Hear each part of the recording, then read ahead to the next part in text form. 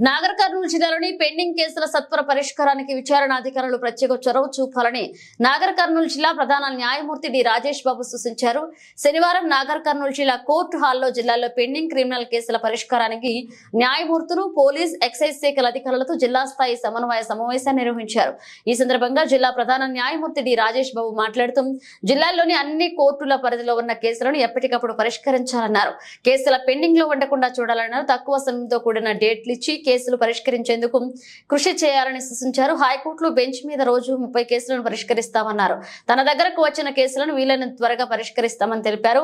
విచారణ అధికారులు కోర్టులో ఉన్న పెండింగ్ కేసుల పరిష్కారానికి ప్రత్యేక శ్రద్ధ వహించారని విచారణ అధికారులు విధిగా హాజరయ్యేలాగా ఉన్నతాధికారులు చర్యలు తీసుకోవాలని పోలీస్ శాఖ అధికారులు ఆదేశించారు.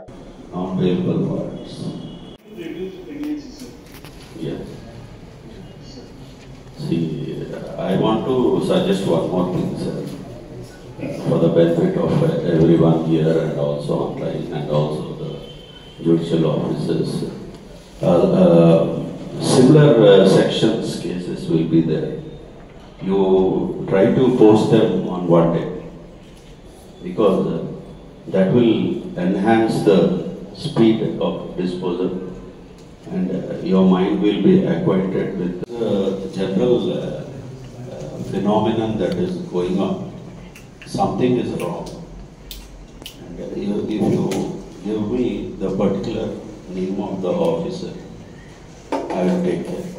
Such things should not happen. It will not happen.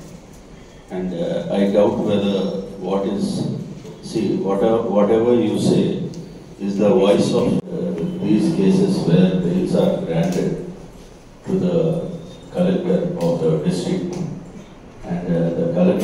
collector of the district is to arrange funds for that security amount which is ordered by the court. So this is the moment we grant him bail. As of right, he, he now has a right uh, to be out of the jail. జరుగుతుంది sir every month ఎన్ని cases మీరు dispose చేశారు pending ఇన్వెస్టిగేషన్లు ఎన్ని ఉన్నాయి అనేది అది కొద్దిగా ఇబ్బందిగా ఉంది సార్ దీని గురించి నేను తమని పర్సనల్గా కలిసి మళ్ళీ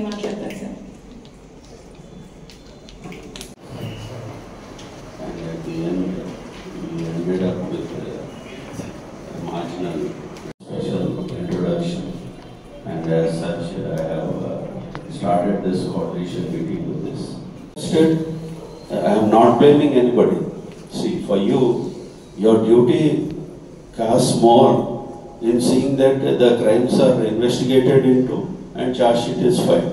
This is the first priority for you. Our first priority you have to look into